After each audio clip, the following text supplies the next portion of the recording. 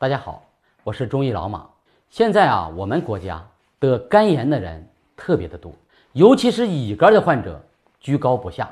你像我们肝炎的患者呢，分为呢甲肝、乙肝、丁肝、戊肝、丙肝。但是呢，最多的呢是甲肝和乙肝。甲肝就是急性黄疸性肝炎。如果我们得了甲肝，不用害怕，我们肝脏的功能保持正常，而且呢。消除某些症状，尤其是黄疸的症状，慢慢呢就形成抗体。得了一次以后再也不得了。但是乙肝就麻烦了。乙肝呢，它的传播途径呢，一般的只分为两个，一个呢是垂直的母婴传染，一个呢就是通过输液或者呢输血平行的传染。但是乙肝非常的难受，很难治疗，它的转阴率呢一般在百分之十左右。但是如果我们加上合理的药物治疗，我们就能够使它的转移率呢提升百分之十五，达到百分之二十五。但是乙肝真真正正是通过什么来转阴的？大家一定记住，是通过调节我们人体的整体的内环境、整体的肝的功能，同时提升我们的正气，达到我们免疫系统内的巨噬细胞的吞噬功能增强，来吞噬我们的乙肝病毒。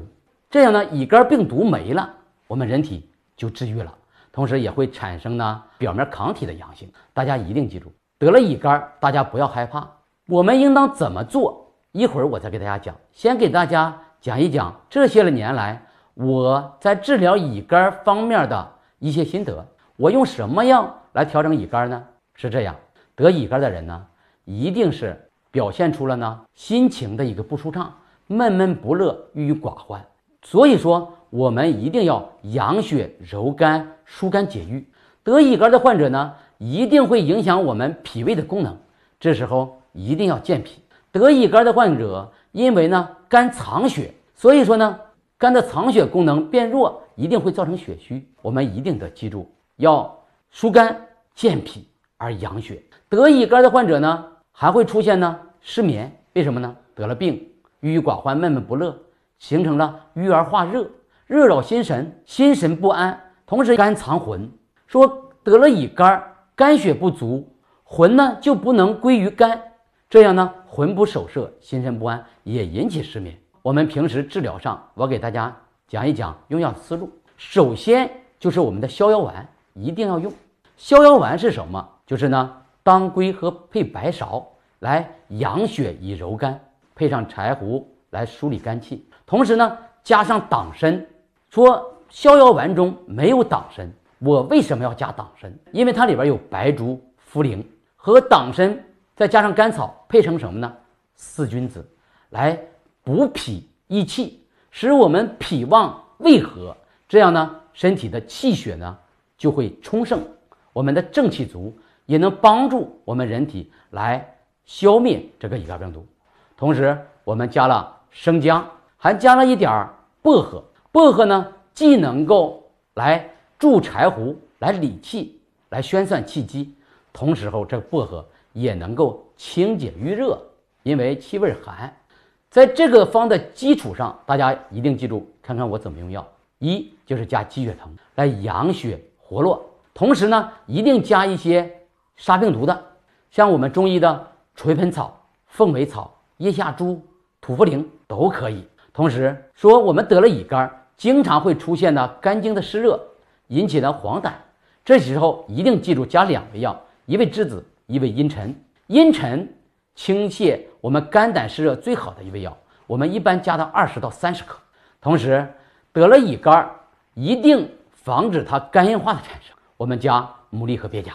另一个方面，得了乙肝也一定要加活血的，一味桃仁，一味赤芍。足以通过这个方的配伍，再加点助睡眠的，就是我们的酸枣仁，是最好的一味助睡眠的。再加上川芎，川芎呢既能行气又能活血，配合我们的桃仁、赤芍来活血，同时呢，它也是引药入肝经的引经药。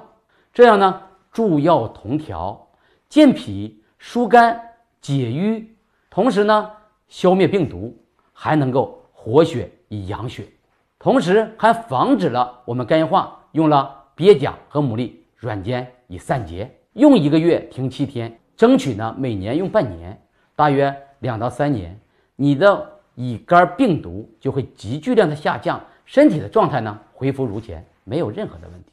但是大家一定记住，得了乙肝，我们一定注意肝脏的保护，否则的话，乙肝、肝硬化、肝癌就是一个三步走。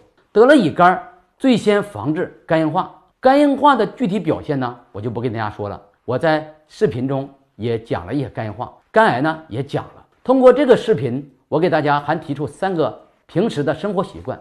第一个，得了乙肝，首先要戒酒，酒千万不要喝了。第二个就是脾气，脾气呢一定变得柔和，原来那种急躁易怒、脾气不好的秉性改了。第三个就是我们的饮食。第一，不要过于的油腻；第二，就是呢，我们一定记住微量元素和维生素的蔬菜相对多一点，同时要保证充足的睡眠。说合理的用药加上良好的生活习惯，就使我们的乙肝，即使你是携带者，也不会发生肝硬化、肝癌的疾病。通过这个视频呢，我也告诫所有的乙肝的患者得了。肝硬化也不要害怕，得了肝癌也不要害怕，能不能逆转就看你自己，自己有信心，再配上合理的药物治疗，配上良好的生活习惯，能逆转是有可能的。这个视频呢，就跟大家分享到这。如果大家有什么问题，请在评论区留言，我会给大家一一的回复。